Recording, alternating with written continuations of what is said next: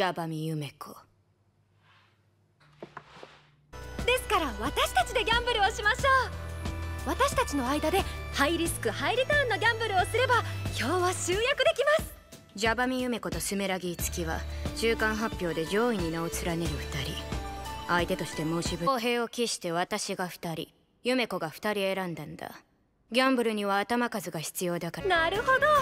ちなみに全員というのは税金ボックスに銀貨を入れなかった人も含まれるんですか？皆さんもちろん毎ターン5枚全て税金ボックスに入れてくださいますよね。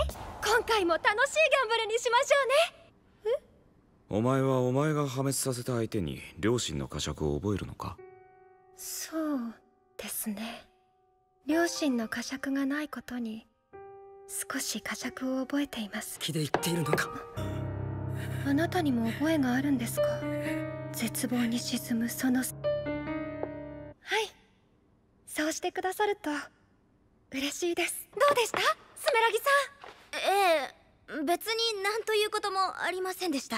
ただ箱が2つあるだけで。じゃあなスメラギさんなんだか私とっても楽しいことが起こりそうな気がするんですねスメラギさんどうやらこの中に当たりは5分の1ですからね。無実なのに拷問されるのは遠慮したい。私は21枚になるように書いたつもりなんですが。出たのか？2人以上が裏切るって状況をよ。ええもちろん。ジャバミユメコだ。やばい。負けちゃうってやばい。誰も信用してくれない誰一人信用できない。このままじゃ負けちゃう。絶対に負ける。この絶望このリ、はあ、私だけが破滅するなんてこのリスクを独り占めするなんて。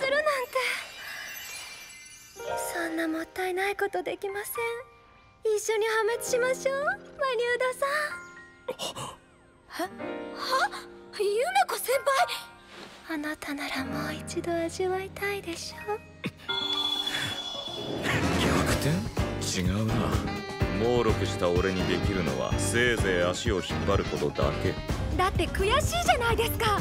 裏切り者が勝って私たちだけ負けるなんて。そんなこと許すか。どうせ死ぬならもろとも死んでやる。ゼロ枚。私たちは今後一切納税しません。みんなで一緒に死にましょう。互いを信用できないからこそ成立する納税の強制だがジャバミユメコはそんなギャンブなんだ？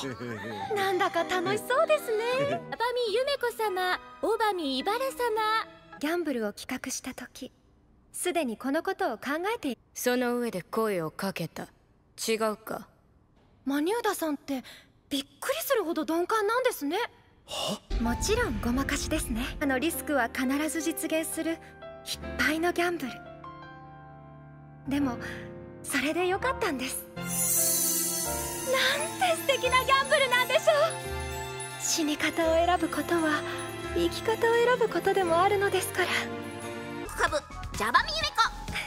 正当の意味するものを真に理解できた者のみが正解にたどり着くことができる。これが問題？